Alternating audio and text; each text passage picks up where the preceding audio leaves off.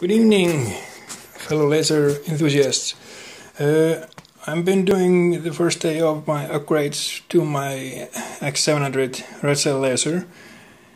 Uh, this is the blue and white. I don't know, if that makes any sense because they're either blue and white or or red and black, and the new version is gray apparently. Anyways, uh, I got the CCM liners and I'm really surprised about how good quality for this how sturdy and heavy duty it is. It's all really good quality. I was really surprised. Especially like this finishing touches. This is metal. This is not plastic. I was really surprised about this. Uh, it's really cool.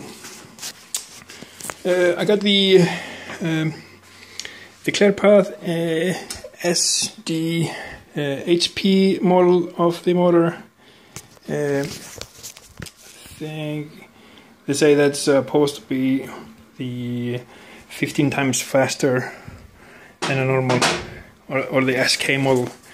Uh, I got two of them uh, for the X and the C. I got two more coming in, one for the rotary and one for the Z axis. Uh, clearly not as powerful as these two, but uh, uh, they're gonna at least they're gonna come in. Uh, then I'm gonna upgrade the laser tube uh, along the way and the power supply.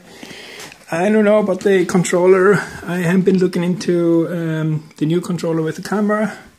I was thinking maybe having the camera because uh, to my work I have access to other kind of printing materials and stuff like that, so it would be nice to be able to cut them out. But that's uh, another upgrade later on. At least, uh, yeah, this is day one. Uh, thanks for watching.